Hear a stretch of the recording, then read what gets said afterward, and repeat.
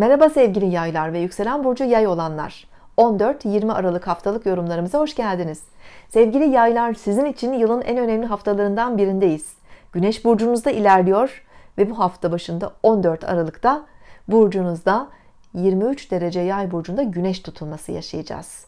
Öncelikle bu hafta doğan tüm yay burçlarınızın doğum gününü kutluyorum. Sağlıklı, mutlu, başarılı bir yıl dilerim size. Hem güneş burcu yay olanlar hem de yükseleni yay olanlar için önemli bir hafta. Doğum günü ayın 10'uyla 21'i arasında olan sevgili yay burçlarımız. Yükselen burcu 23 derece ve yakınlarında olan yay burçlarımız. Bu tutulma sizin için çok önemli. Hayatınızda yeni yapılar kurmak, yeni adımlar atmak, yeni kararlar vermek, bir şekilde hayatınızın gidişatını değiştirip daha e, kadersel açılımlar yapmak için tutulma sizin için çok güçlü bir tesir yaratıyor. E, gerek hani fiziksel imajınızda, görünümünüzde de bazı değişimler yapabilirsiniz. İlişkilerinizle ilgili önemli kararlar verebilirsiniz. E, yeni eğitimler alabilirsiniz. Ufkunuzu geliştiren bir tutulma. Mars'ın da çok güçlü destekleri var. Özgüveninizi arttırıyor cesaretinizi arttırıyor. İnisiyatif alabilir, harekete geçebilirsiniz. Ancak Neptün'e biraz dikkat edin. Neptün zaman zaman bazı duygusal etkileşimleri arttırabilir. Bazen aileyle ilgili ya da kariyer beklentilerinizle ilgili çok gerçekçi olmayan hayallere, ideallere, vizyonlara neden olabilir. Buralarda daha gerçekçi olmak gerekiyor. Aşırı duygusal davranmamak gerekiyor. Daha mantıklı hareket etmek gerekiyor. Bu şekilde davrandığınızda bu tutulma gerçekten hayatınızda çok güçlü yenilikler getirebilir, yeni kapılar açabilir size.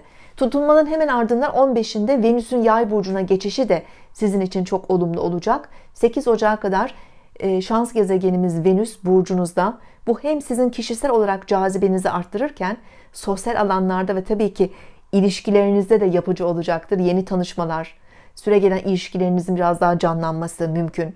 Maddi konularda da tabii ki Venüs burada iyicil etkilerini e, bu dönemde size sunabilir. Güzellik, estetik, kişisel bakım gibi alanlarda da daha rahat hareketlerde bulunabilirsiniz.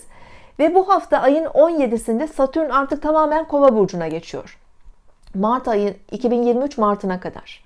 Hemen ardından da 19'unda Jüpiter Kova burcuna geçiyor. Zaten bu iki gezegenin hareketleri, Kova burcundaki tesirleri 2021'i de önemli ölçüde etkileyecek. Yıllık videolarımızda bahsettik. Lütfen izleyiniz. 21 Aralık'ta büyük kavuşum var Kova burcunda ve 3. evinizde bir enerji değişimi var. Demek ki hem fikriniz, e, düşünceleriniz e, bu dönemde e, gelişiyor, farkındalıklarınız artıyor. Hem de hayatınızda ticari konularda olabilir, eğitim gibi konularda olabilir. Bazı yeni adımlar atmanız, fırsatlarla karşılaşmanız mümkün. Yakın çevrenizde de bazı yeni yapılandırmalar var. Özellikle ilişkilerde yani ailevi ilişkiler, kardeşler, yakınlarınızda olup bitenlerle ilgili konu ve mevzular da e, önümüzdeki dönemi şekillendirebilir.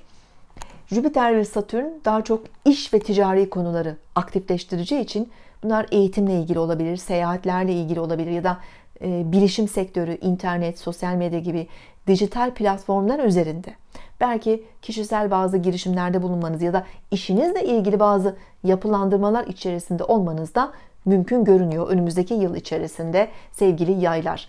Sağlıklı ve mutlu bir hafta diliyorum. Hoşçakalın.